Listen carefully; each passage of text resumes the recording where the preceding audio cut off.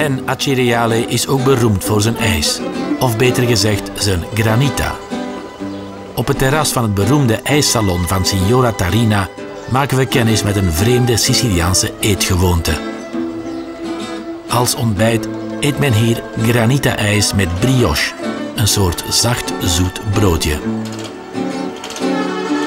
Jong en oud is verzot op deze lekkernij. De granita-ijs wordt op het broodje gesmeerd en gaat gretig naar binnen. Granita-ijs is er in allerlei smaken. De inwoners van Acireale eten ijs met brood zoals wij een broodje eten met kaas.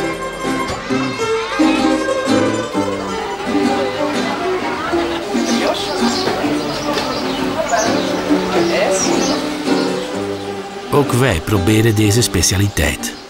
Maar voor ons is het een vreemde combinatie die bovendien zwaar op de maag ligt.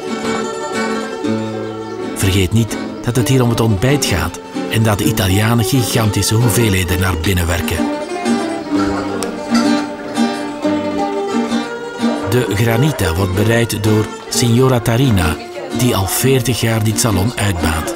De laatste jaren samen met haar zoon. Granita is een soort korrelig waterijs dat bestaat uit een mix van vers fruit, in dit geval braambessen, met toevoeging van heel veel suiker en water. Dat is alles.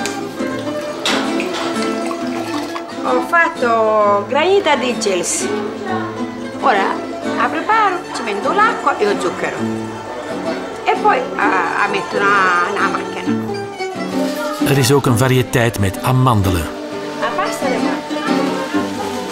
En ook hier weer dezelfde ingrediënten: amandelen, water en suiker. Piero, vedi che io faccio le mandorle, le terriamo nella macchina e poi facciamo eh, il panetto, le mandorla e facciamo poi la granita. Alles gaat in de ijsmachine en wordt continu gemengd en gemalen tot een mix van zeer kleine ijskristallen. Intussen werkt Signora Tarina verder aan granita met perziken.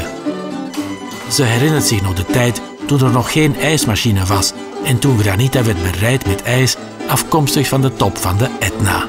Granita allora? Allora, si faceva con il ghiaccio, si entrava il ghiaccio e poi c'era lo sciroppo, o non c'era un tegame che danno d'acciaio, ci metteva una vasca, una vasca con ghiaccio e poi si ci metteva la mandola e tanto si girava, si girava fino a che si agghiacciava e si faceva a granita. Però non veniva come ora, che ora vedere più raffinata. Invece allora veniva agghiacciata, più a ghiaccio. En uiteraard is de granita van Signora Tarina de beste van heel Sicilië.